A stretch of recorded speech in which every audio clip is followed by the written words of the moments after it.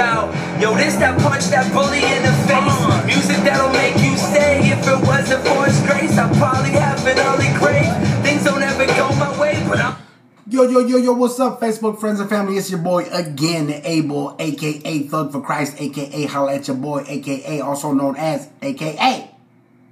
Oh, for those of you that live in the Racine area, and if you ain't seen the paper yet, check it out. Midtown Church of Christ again has made the front page for what we do. It's called that movement. We out here doing big things. There's a couple of people that I want to thank. I want to thank DJ Sant for being out there uh, mixing some records for us as we get down. Uh, DJ Lenny was also out there in the mix. I want to thank uh, Soto Rentals for uh, providing the bouncy house.